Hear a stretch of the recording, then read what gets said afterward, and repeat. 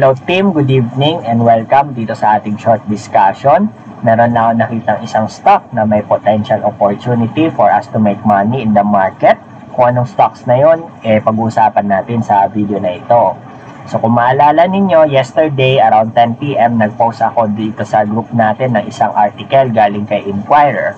So ang article na yon is about the SEC approval of the public offering of four companies. Uh, una si Synergy, The Keeper, Ayala Land, and itong si Megawide. I ask you sa dami ng mga company na nabanggit sa article, ano yung sa tingin yung stock or company na may potential for us to make money in the market na pwede nating gawing watchlist. So may mga sumagot, meron mga nahiya. So sabi ko, there's no wrong or right answer. It is just a good probability for us to trade uh, yung opportunity na yun. So bakit natin ginagawa yun is just because para at least, di ba, you can conduct independently yung due diligence nyo, yung research nyo bago natin i-release itong video na to. Para at least you can compare side by side kung ano ba yung nagawa nyo, ano ba yung pwedeng i-improve, ano yung dapat pwedeng baguhin. So, kaya po kayo tinatanong para at least engage kayo sa mga ganitong uh, gawaing research. So, ito yung naging article, babasahin ko lang. So, the SEC has approved the re-initial public offering or re-IPO ng apat na company na ito, including Ayala Land, Synergy Grid, at itong si Megawide. But we're looking for the uh, formerly Da Vinci Capital Holdings kasi medyo maganda yung opportunity na to. Uh, Tycoon-led niya si Lucio Cope, Itong The Keeper will offer to the public up to 3 billion common shares at 2 pesos per share up to 2.5 pesos per share. The FOO is targeted to run from November 8 up to November 12 with the shares to be listed on the PSE on November 22 subject for the PSE approval. So kung magtataka kayo bakit formerly Da Vinci siya tapos naging The Keeper siya, punta lang kayo sa PSE Edge. So, pinapakita ko to sa inyo para at least marunong kayo magbasa at mag-navigate sa Edge. So, click nyo itong keeper kasi suspended siya. Ayan, click nyo lang to. Makikita ninyo na itong number 1, change in corporate name of the Vinci Capital Holdings INC to the The Keepers Holding INC. So, yung ticker name niya, dating Davin to, D-A-V-I-N, naging K-E-E-P-R. So, Keeper. And as far as I can remember in my entire trading career, parang hindi ko pa yata to na-trade or kung na-trade man siguro spike play once or twice lang. Pero mukhang hindi eh. Kasi based on the structure, illiquid talaga siya. Ito maganda sana i-trade to kasi may structure. Pero during that time, 2016, I was not involved in basura plays or penny stock uh, trading. So, ayan, para at meron lang kayong idea, share company, share stocks, di ba? So now let's proceed to the presentation nitong uh, The Keeper para at least may idea kayo kung ano mga dapat tandaan, mga information na dapat ninyong tandaan. So the Vinci Capital Holdings FOO discussion this discuss on October 9, 2021 ano yung mga dapat tandaan or important information to remember. So ito ticker KEEPR, dating formerly Davin with a primary offer of 3 billion shares, offer price 2 pesos to 250 pesos per share offer period uh, starting November 8 up to November 12, 2021. Listing date, November 22, 2021. So, saan nila gagamitin yung proceeds? Sabi nila, they want to raise fund to expand its liquor, wine, and specialty beverages distribution operations via multi-path expansion through horizontal and vertical integration, alternative distribution channels, and new geographic territories. So, pwede nyo i-screenshot to, i-save nyo kung saan comfortable sa inyo i-save para maalala ninyo itong information na to. So, saan natin nakuha itong article ng use of proceeds nila? Dito natin nakita yon sa Business World. Kung makikita nyo, itong part, part na ito, ito. So, at least alam na natin saan nila gagamitin yung proceeds. And if you want to read the whole article, okay lang din. Uh, pinapaliwanag lang niya kung anong company itong Da Vinci or itong Keepers uh, dating uh, shell stock, tapos ano yung terms of the offer, kailan i-offer, ano yung offer date, yan, mga ganyan. So, let's move on sa presentation ulit. Uh, why does a company change name, di ba? Magtatanong kayo. So, dalawa lang yan, parang tao lang yan. Halimbawa, ako, I will change my name, di ba? Because I am hiding something. Pwedeng criminal ako, nagpalit ako ng pangalan, di ba? So, may nagawa akong krimen, nagpalit ako ng pangalan. So, ganun din yung company or stock they want to hide something. So, best example is si Dito, di ba? Uh, formerly ISM. They want to hide their weak financial report. And number two, kagaya ng tao, merger and acquisition, di ba? Pag nagpakasal ang isang tao or yung isang babae, yung surname niya, di ba, makapalitan. So, ganun din uh, sa company. Pag nagkaroon ng merger and acquisition, uh, makapalitan yung name. So, best example, si Asen. Uh, formerly, si Penyon. Tapos, napalitan, naging ACPH. Tapos, naging Asen. Then, another example, itong si Paul HC. Uh, formerly Poppy, di ba? Na kung maalala ninyo, uh, nirecommend ko siyang stock na yun. Itong si Poppy last 2019. di ba? Kung nasundan niyo yung discussion na yun, kumita kayo uh, from the trend uh, nung Poppy pa siya. This book, Earning Your First Million in Stock, will teach you the basic principles of fundamental analysis, technical analysis, market psychology, risk management, self-management, and a successful trading system itself.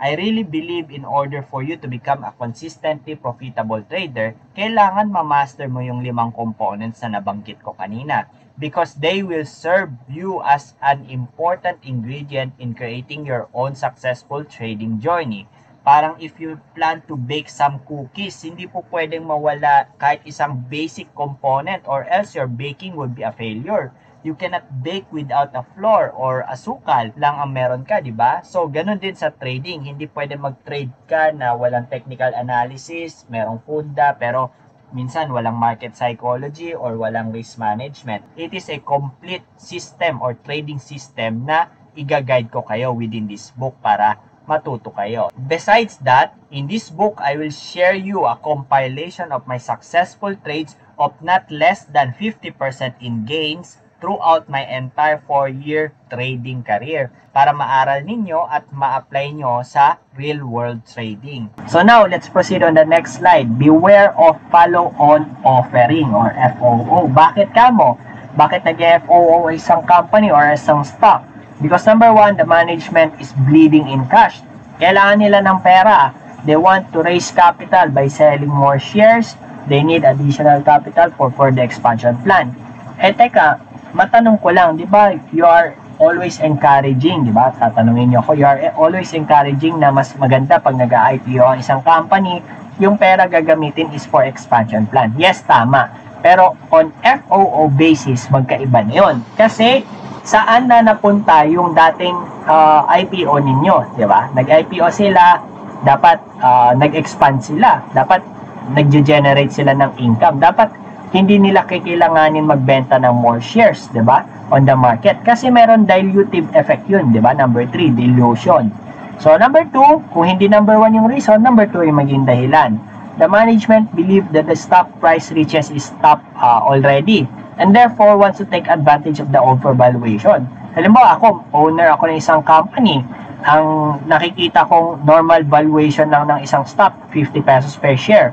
Pero dahil na hype yung stock ko, 'di ba? Parang dito or MM na hype, umabot ko na rin ng 100 pesos per share or 200 pesos per share, mag-EFOO ako para yung mga shares na, ma, na mabebenta, eh ma-take advantage ko. So, kunwari, market, current market price 200 pesos per share, pwede ko ibenta na 150 or 170 para kunwari at a discount rate. Pero kumita pa rin ako kasi 50 lang yung uh, proper valuation, di ba? Yung uh, tamang valuation. So, yun. Again, beware of follow-on offering. Now, what might happen during the keeper listing? So, una, i-revisit yung PHR na FOO for a similar case study last year, 2020, diniscuss ko tong PHR na to na i-revisit natin ngayon para at least maalala ninyo, di ba? So, kung sinuwerte kayo, nabigyan kayo ng allocation, you have made money at least, uh, I think, 30%, di ba? So, again, sell on strength ito, bawal sa newbie, extreme volatility, illiquid play, basura stock.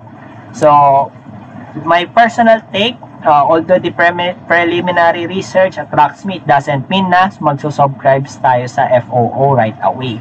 So, pass 1 out of 6 criteria pa lang ng IPO or FOO play at this, uh, as of this moment. So, now, punta natin yung naging uh, discussion natin dito sa group para at least makita ninyo, di ba? Kung magre-research kayo, may case study kayo, at least uh, ma makita nyo kung ano yung ano, paano natin siya ginagawa. So, ito, maalala ninyo, dalawang beses ko lang siya pinost, isang October 22 at isang November 3. So, pipiliin natin October 22 kasi complete details to. PHR disclosed last Friday, October 16, 2020, an FOO of 1.68 pesos per share proceed will be used dito sa Emerald Bay Completion. Dennis Uy yung may-ari. Uh, offer period, October 21 to 28. Listing date will be November 5. So parang same period, di ba? Parang November din. Pero medyo uh, yung, yung offer period, November. Tapos yung listing date, alam ko, 22, di ba? So, ayun. Uh, ito yung important details, di ba? Uh, October 19, sabi ko, after the price disclosure, 34% discount. Tapos after the voluntary trading suspension, naging 49% discount kasi umangat yung stock na yun eh. Now, October 20 hanggang 5 trading suspension, parang si keeper din, di ba? Suspended. Tapos, November 5 listing date. Ito yung mga possible na mangyari which is hindi naman nasunod. That's why uh, lagi kong uh, sinasabi sa inyo, we are trying to delay the trading plan kasi eh, everything might change eh. So, nag-announce si PSE during that time na ililift nila yung flooring threshold. So, kung babalikan nyo, ito yun, di ba? So, PHR, no flooring threshold. Pero may ceiling threshold. So, again, kung wala siyang flooring threshold, kahit anong mangyari, may kita pa rin tayo. Instant 36% gain or break even lang. So, ayan. So again, uh, ano yung recommendation ko dito? Sabi ko, uh, 10% uh, minimum, maximum allocation buy at the FOO, subscription, sell on strength, di ba? Up, upon the listing. So more likely, uulitin lang natin to kay keeper, ba? Pero kung papapiliin nyo ko oldie, keeper, tsaka itong si MD, mas, uh, mas pipiliin ko pa rin, top 1 ko pa rin si oldie. Uh, pangalawa si MD, itong si keeper, pangatlo kung ipagkukumparahin mo ah, PHR and Keeper mas mas angat pa rin si PHR eh. Mas gusto ko pa rin itong si PHR because of Dennis Uy, di ba? Uh, pero itong si Keeper parang pwede, good opportunity pero tingnan natin kung ano yung ano moving forward kasi marami pa namang araw, may isang buwan pa naman eh. So, balikan natin ha para at least you have the idea no about kay PHR. So, PHR saan banda yon? Let's see ah uh, I think somewhere here, 'di ba? Ito. Ayan. Kung maalala ninyo, ito October 20 suspended, November 5 nag-open, 'di ba? Ano yung uh, subscription uh, price? 1.68. So, kung makikita ninyo, sinabi ko dito, uh, nagbanggit ako dito na any price above 2.28 is considered already a bonus. So, meron tong calculation, hindi yan hinulaan lang natin na okay, feeling ko 2.28. So, yun lang, lalagay lang natin, hindi. So, kung makikita nyo, ito, November 5, ang closing niya is around 2.18. Makikita nyo dito sa may letter C. Ayan o, 2.18. So, malapit na, 2.28 yung uh, sinabi natin. So, 168, di ba? From here to here, kung medyo malas-malas ka, uh, 20%, di ba? Kahit napakamalas mo, may 20% gain ka. Pero kung na-trade mo siya, sell on strength ka, di ba? For the first few uh, 30 minutes or 1 hour, meron kang almost 60% gain, di ba? Na kagaya na sabi ko, anything above 2.28 is considered already as a bonus. So ayun lang, I hope uh, may natutunan kayo dito sa may shorts discussion natin. And I hope makapag-prepare kayo if you would like to decide na mag-take or mag-avail ng subscription dito sa FOO ni Keeper. So good night and God bless.